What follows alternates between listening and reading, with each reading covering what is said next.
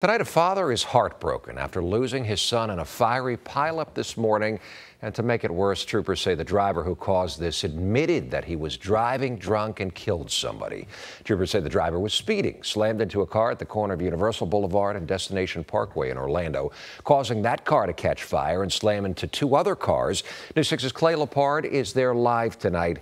And Clay, you talked to the man's father. Eric we did, and he said his son was loved by so many. In fact, there's actually some balloons and flowers here at this intersection to honor 26 year old Matthew Pasciuco, who troopers say died after his car was rear ended by a drunk driver. An amazing son and husband, talented in drawing, especially cartoons. That's how family described 26 year old Matthew Pasciuco to News 6. Pasciuco was killed in a crash early this morning along Universal Boulevard. Burn marks still show where his car once was. According to Florida Highway Patrol, Pasciuco was stopped at a red light at around 2.30 when a white Mercedes slammed into the back of his sedan. That Mercedes pushed Pasciuco's car into two other cars and then caused it to catch on fire. Other drivers were able to pull Pasciuco from the burning car, but he had already died.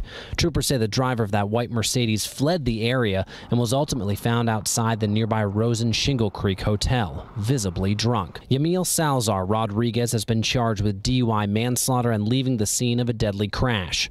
Troopers say Rodriguez had to be taken to a hospital where he repeatedly said, quote, I shouldn't have been driving drunk. FHP also says the suspect called his mother and told her in Spanish, quote, I was drunk and I killed someone.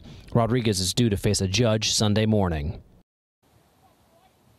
And Orange County deputies are reminding everyone to designate a sober driver as they'll be on the lookout this weekend for drunk or otherwise impaired drivers. In Orange County, Clay Lepard, News 6.